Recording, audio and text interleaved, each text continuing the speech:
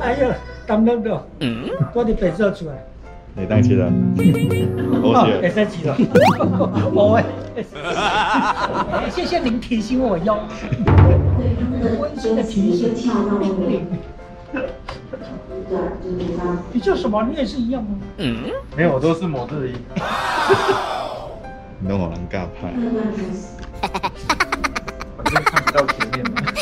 哦，我后面没关系，给后面的人看到。季姐，距离上次来我们新吉大歌厅已经有一段时间，那你这次来会有什么不一样的感觉吗？啊、其实我觉得。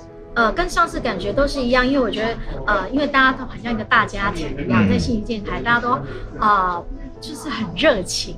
然后像尤其是因为主持人，呃，跟我又是这么熟的老朋友，嗯所以感觉就像回到自己的家一样。呃，最近就开始有直播嘛，在脸书上有直播。那其实这也是近期开始尝试的一些新的，呃，怎么讲呢？因为以前从来没有这么直接的跟啊、粉丝直接的呃对话。那那我会觉得说很开心，可以有这个机会，因为呃我们现在呃唱歌的活动的一些机会比较少，嗯所以要跟歌迷见到面，或者说呃聊到天，其实机会都呃几乎都没有了。所以我很开心有一有一个这样的管道，可以呃透过这样的管道来跟大家大家就是呃一起互动这样子。嗯，有了，他这一集本来弥补我，又是抱又是亲又是床戏，完全不去，真的太棒了。受不了，所以我们自己会删掉。我 怕被俊姐的粉丝打。哦，是吗？俊姐，耶！你好啊，不会被打吗？我的粉丝这个都气死了，没关系。看这种刺激的小说。Yes。好，OK，好。一百八。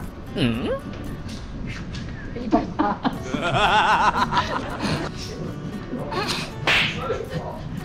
好爱演哦，都演几年了，还这么爱演。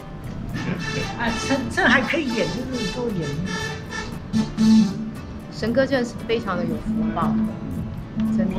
真的，他写的歌一直在拿版税，任他游山玩水。然后呢，每次专访特别来宾，一定要讲他钓鱼，一定要讲他讲他爬山。一，哎，小编居然点头说没错，因为每次都可以对。啊，因为因为人生实在是太丰富了，不讲可惜啊！看他个别。